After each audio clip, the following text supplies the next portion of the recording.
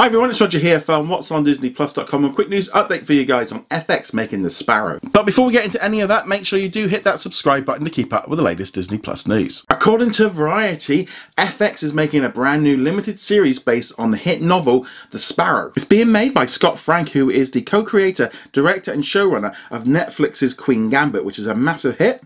This new series is going to be directed by Johan Renck, who has previously worked on Chernobyl and Breaking Bad. They'll both be executive producers on the series along with Mark Johnson who has previously worked on Better Call Saul. The Sparrow was originally released back in 1996 and tells the story of when humanity finally finds proof of extraterrestrial life when a listening post in Puerto Rico picks up some really weird singing from a planet that would later be known as Rakhat. While United Nations diplomats endlessly debate a possible first contact mission, the Society of Jesus quietly organises an eight-person scientific expedition of its own.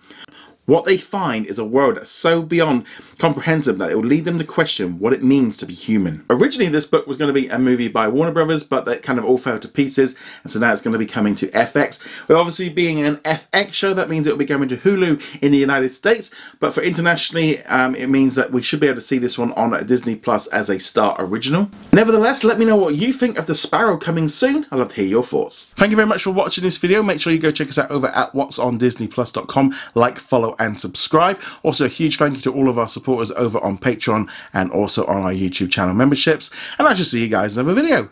Laters.